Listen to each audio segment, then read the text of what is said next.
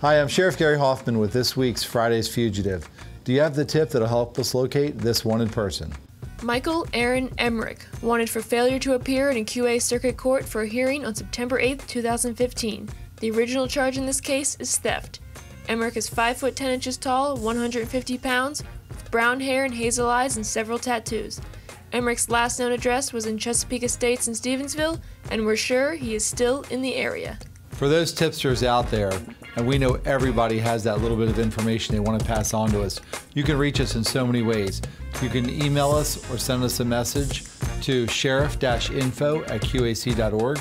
You can always send us that private Facebook message, or you can call our tips line. Just remember, all tips are treated anonymously, and we look forward to getting that tip to get this most wanted person off the streets.